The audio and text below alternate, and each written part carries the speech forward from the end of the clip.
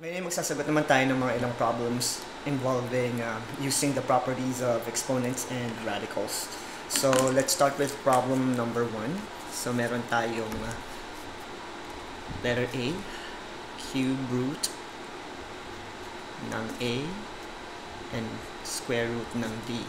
So alam natin yung A ay 27 at yung B ay 64. So, sa pagsagot ng mga um, problems involving uh, properties of exponents and radicals, dapat memorize na talaga yung uh, multiplication table. So, yung third root of 27 would be 3 kasi 3 times 3 times 3 is 27 multiplied by the square root of 64 which is 8. So, ang 3 times 8 is equal to 24. So, yung A natin is equal to uh, 24. And then, dun sa letter C natin, meron tayong third root ng A plus 2 times square root of B quantity squared. So let's replace A and B by 27 and uh, 64 kasi yun yung value niya. So third root ng 27 plus 2 times square root of 64 and then you'll square it afterwards. So para lang kayo naggagawa ng or nagsasagot ng order of operations. So alam natin this is equal to 3 plus 2 times 8 squared. So we have 3 plus 2 times 8 is 16 and then you square it. 16 plus 3 is going to be 19 and then square and 19 square is equal to 361 kasi 19 times 19 is 361 so yan yung letter uh, C natin and then yung problem number 3 naman. So um, wag nyo lang pansinin yung numbering kasi yung mga numberings ko is just alternating. So yung number 3 natin dito natin gagamitin yung uh, rational exponents or yung pag change ng a raised to n over m would be m root of a to the n. So, yan yung properties na gagamitin natin for number 3.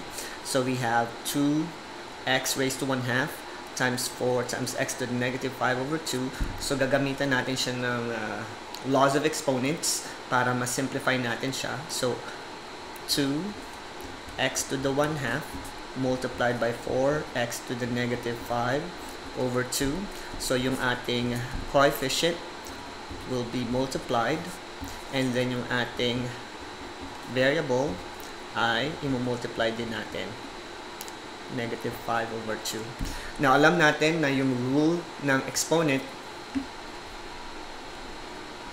yung rule ng exponent kapag ka meron tayong uh, same variable and we're multiplying it we're going to add the exponent. So we'll have 2 times 4 which is 8 multiplied by x of 1 half minus 5 over 2 kasi um, negative yung 5 over 2 and 1 half minus 5 over 2 madali lang siyang sagutin kasi parehas yung denominator.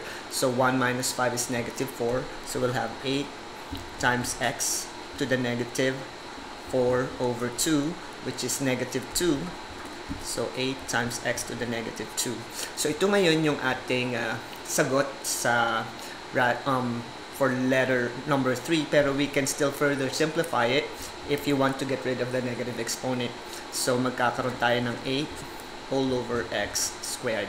So, ito yung other version ng ating uh, answer kung i-apply natin yung uh, law of negative exponent. So, yan yung problem number 3. Now, for problem number 5, we have um, 3x to the 1 fourth raised to the negative 2. So, gagamitan natin siya ng um, uh, distributive property.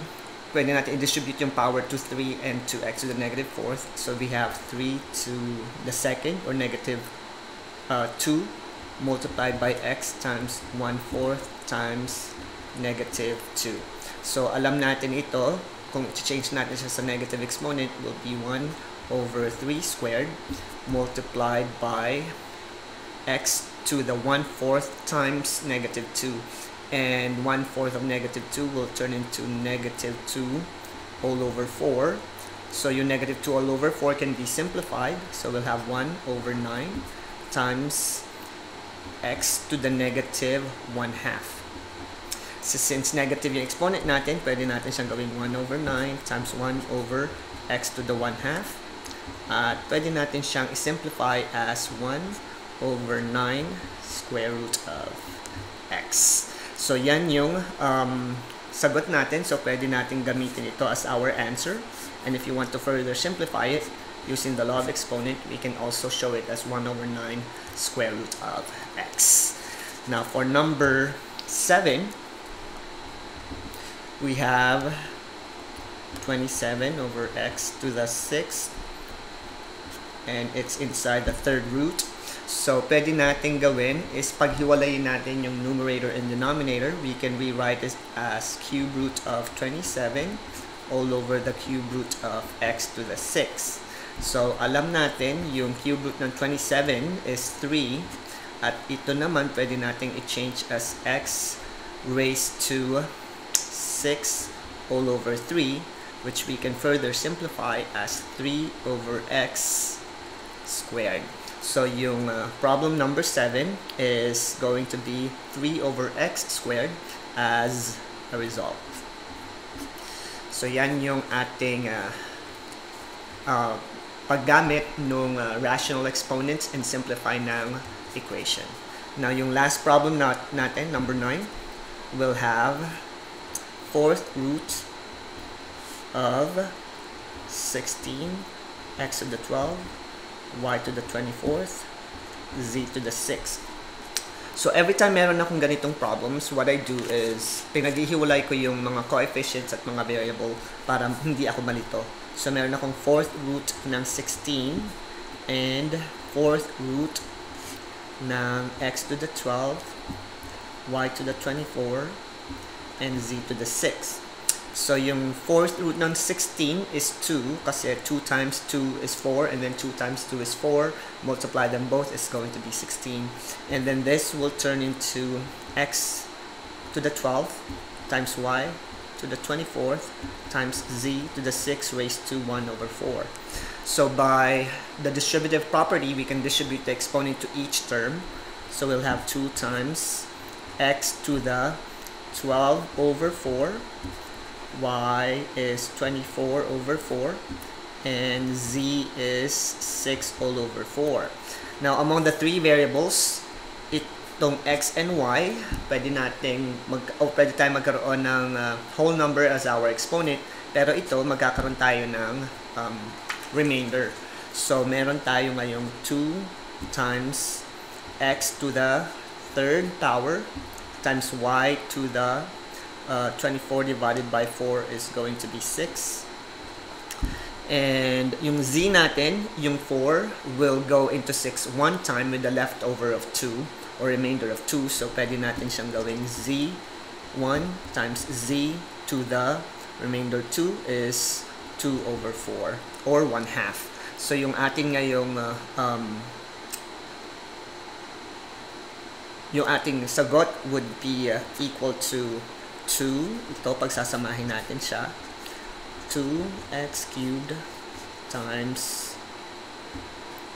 y to the 6 z and then yung ating z uh, pwede nating change sa 1 half so square root of z so yan yung sagot natin for problem number 9 using the law of exponents.